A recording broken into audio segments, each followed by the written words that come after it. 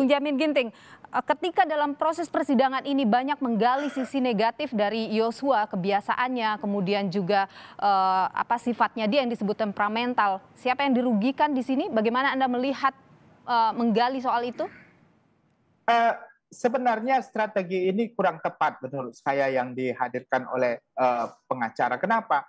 Karena dia sedang tidak meyakinkan juri.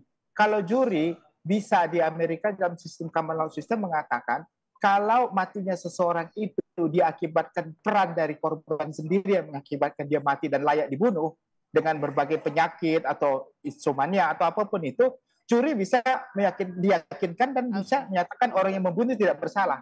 Tetapi dalam konteks ini kita bukan common law system.